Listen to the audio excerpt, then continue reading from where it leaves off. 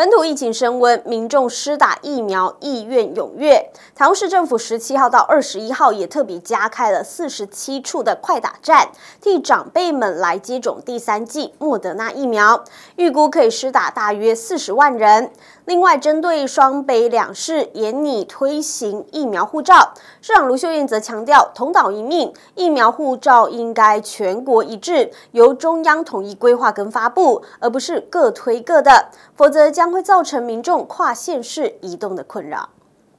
近日来，北部地区本土疫情升温，民众施打疫苗的意愿也跟着增加。为此，台中市政府从十七号开始到二十一号，特别加开四十七处的快打站，要帮长辈们接种第三剂莫德纳疫苗。而市长卢秀燕也预估，这礼拜将可施打约四十万人。啊，这摆快打站，不管起码给咱开，大家都去开一般的施打站。那快打站这摆嘛是咱有，所以也因此嘞，这礼拜咱要做个四十万人，应该是全国最多的哈，就是希望能够加强防疫哈。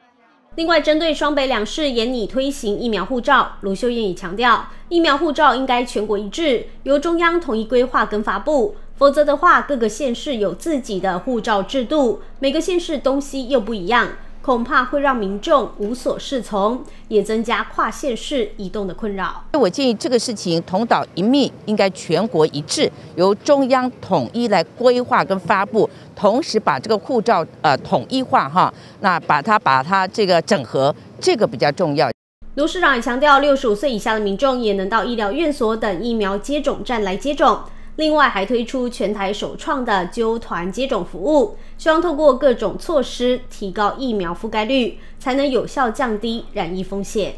谢陈博汉台中采访报道。